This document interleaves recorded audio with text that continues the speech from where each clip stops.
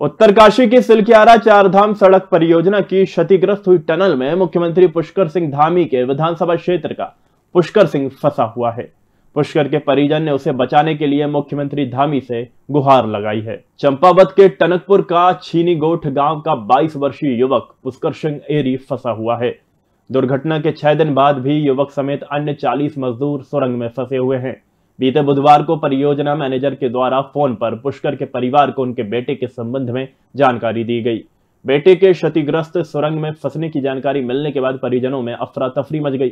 पुष्कर के बुज़ुर्ग माता पिता का रो रो कर बुरा हाल है। घटना की सूचना मिलने के बाद से ही पुष्कर की माँ गंगा देवी ने खाना पीना त्याग दिया है। युवक के परिजनों की उससे आखिरी बार बात दिवाली से एक दिन पहले हुई थी। पुष्कर के माता पिता रो रो कर प्रशासन से गुहार लगा रहे हैं कि चाहे तो उनका घर, मकान, ज़मीन सब ले लो, परंतु उनके बच्चे को सही सलामत उनके सामने पहुँचा दो।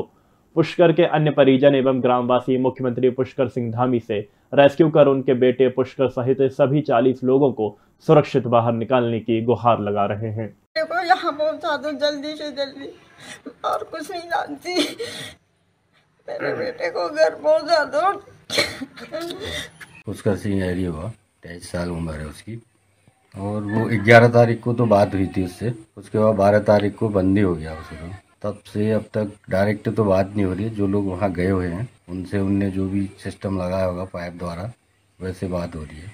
लड़के से फ़ोन द्वारा तो ग्यारह तारीख को। वहीं जो गए हैं, उन्हीं को वही लोग बात कर रहे हैं। उसी रिकॉर्डिंग भी भेज रहे हैं उसे। यही रहे, वहाँ लोग गए हैं, उनको बता रहे हैं। वो देख भी रहे हैं लोग। भाई उसका गया बड़ा भाई। बाकी तो सीएम कार्यालय से भी फ़ोन आया था। कोई अगर वहाँ पर जो गए हैं, उनको कोई दिक्कत आती है तो हमें फ़ोन द्वारा बताओ, हल निकालेंगे। माँ ने तो अभी तक खाना भी नहीं खाया, जब से सुना है।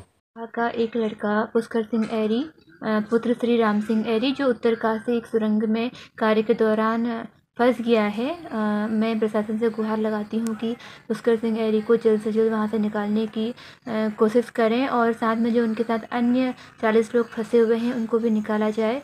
पुष्कर सिंह के माता पिता का बहुत बुरा हाल है। उन्होंने खाना पीना भी सब छोड़ दिया है। मैं पूरी ग्राम सभा की ओर से गुहार लगाती हूँ कि पुष्कर सिंह एरी को जल्द से जल्द निकालने का प्रयत्न किया जाए और माननीय पुष्कर सिंह धामी जी का भी मैं धन्यवाद करती हूँ। मुख्यमंत्री कैंप कार्यालय द्वारा भी हमको पूरा आश्वासन दिया गया है कि जल्द से जल्द वहाँ फंसे लोगों को निकाला जा रहा है और मैं पूरी गाँव वालों की ओर से गुजारिश करना चाहूँगी कि हमारे ग्राम सभा का जो लड़का वहाँ फंसा हुआ है, उसको तुरंत से तुरंत निकाला जाए। केवल हमारे गाँव के लिए नहीं, पूरे उत्तराखंड के लिए बहुत बड़ी घटना है और हमारे गाँव का निवासी पुष्कर भी इसमें फंसा हुआ है, हमारा छोटा भाई है। इससे पूरे ग्रामीण लोग जो हैं बहुत दुखी हैं और उनके परिवार के लोग बहुत ज़्यादा दुखी हैं, उनके रिश्तेदार बहुत ज़्यादा दुखी हैं।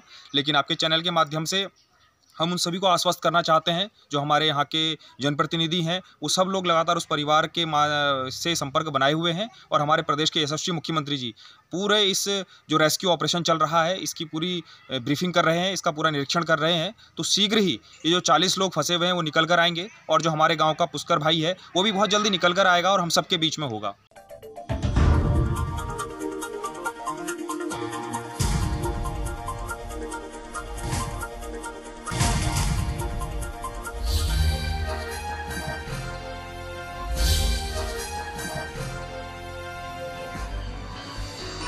आप देख रहे हैं दखल न्यूज़।